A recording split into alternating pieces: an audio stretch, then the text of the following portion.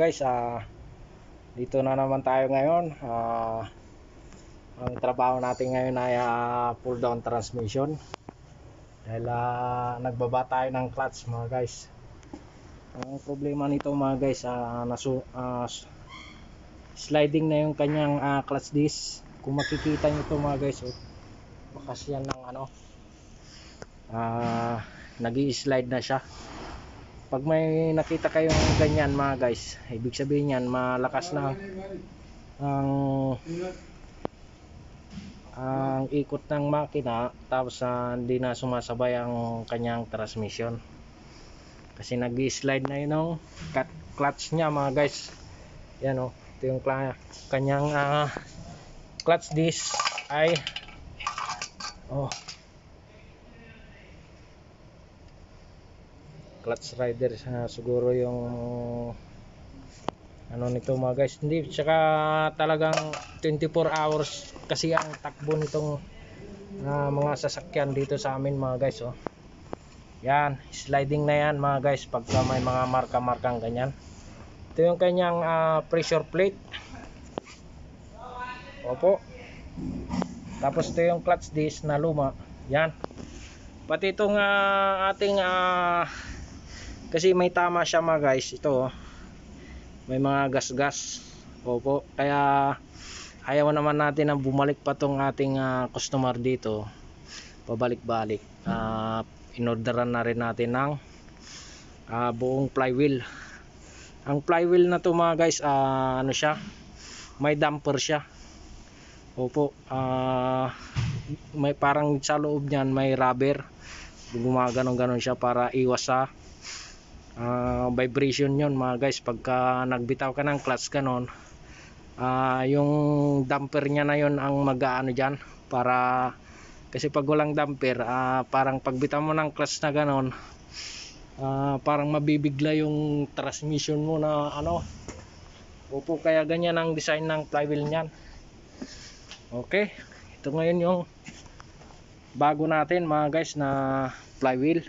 Opo ito yung ah, modelong sasakyan. Ah, 2021 yata to. 2020 pataas na Toyota Hi-Ace. Yan yung mga papalitan natin mga guys. Ah, air filter, easy filter. Oh, ah, magchi-change oil pa tayo mamaya pagkatapos. Tapos ah, ito yung bago niyang clutch disc mga guys Opo. Pag nagsalpak kayo niyan mga guys, yung clutch disc, dapat ito yung flywheel, nakaganyan yan. Yan. Itong mga umbok na ganyan mga guys, yan nakalabas yan na ganyan.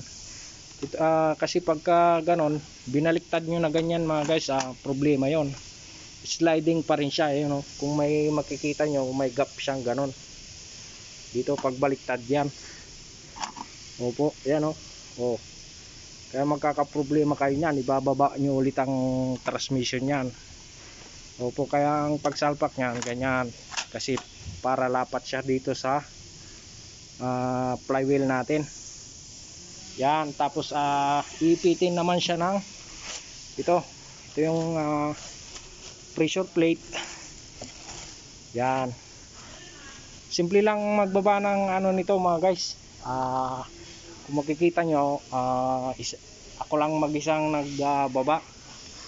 Opo sa atin kasi ah, higa-higa. Eh, ito kasi pag may mga ganito tayo literal kahit isang tao lang kayang kaya baba yan mga guys. Opo. Yan.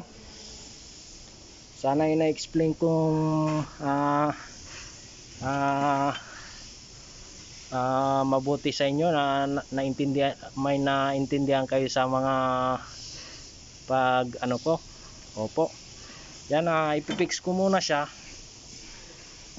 Yan ganyan. Hmm, yan yung mga luma niya mga guys oh. tapos ito yung kanyang ah, release bearing. Papalitan din natin yan. Lilinisin natin tong kanyang ah, bell housing transmission to kasi may mga ano yan no? Ang tawag dyan? Mga debris ng ano ah clutch. Opo yan yung mga ano ah, dumi nya dito napunta mga guys. Kaya ito papalitan ni din natin. Yan. Okay. Ah, i-fix ko muna siya mga guys. Ah, tapos ito naman yung kanyang pilot bearing. Opo. Okay yan mga guys ah, naisalpak na natin.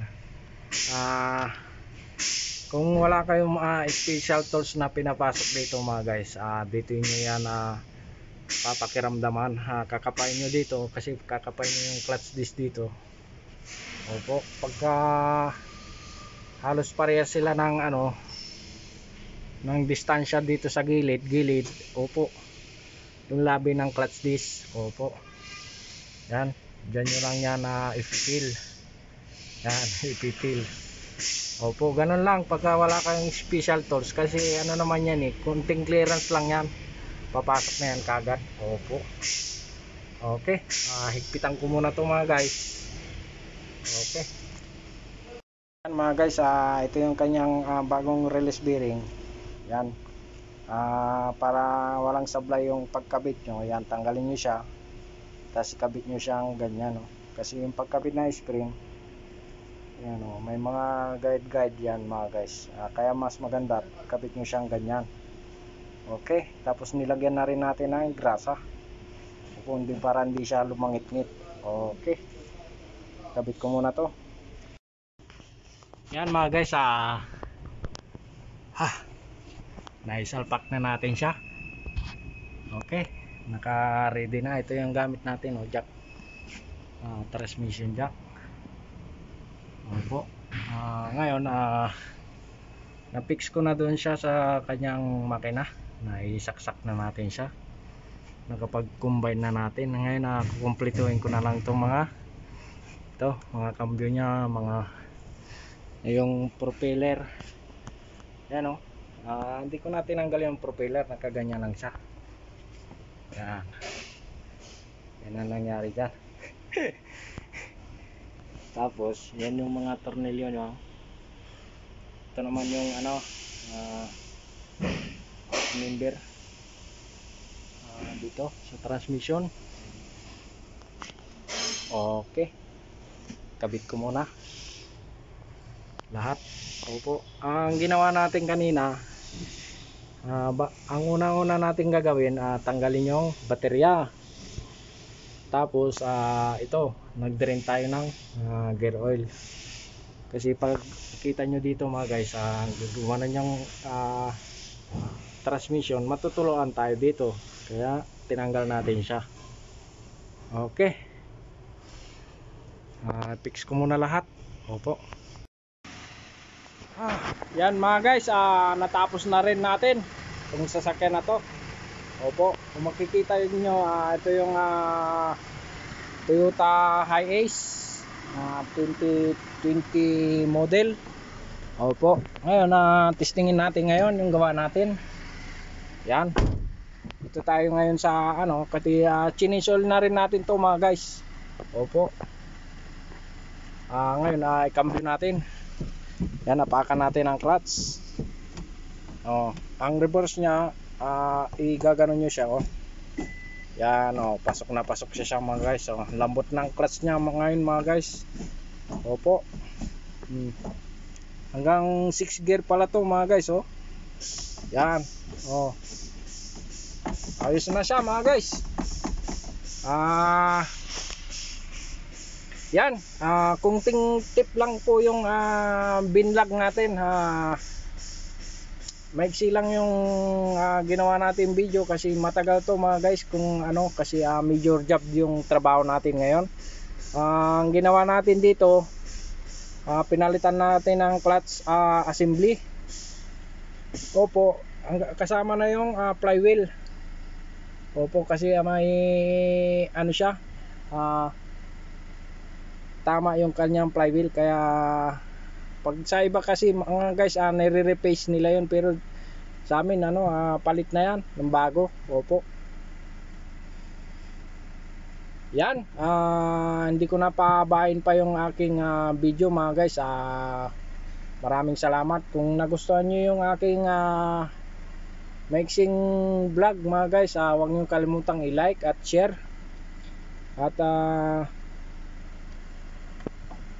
kung bago ka man dito sa aking ah, channel mga guys, ah, huwag mo nang kalimutang i-subscribe at pindutin ang bell icon para ah, updated kayo lagi sa susunod kong mga i-upload. Opo, na para sa inyo. Opo, maraming salamat po. Yan.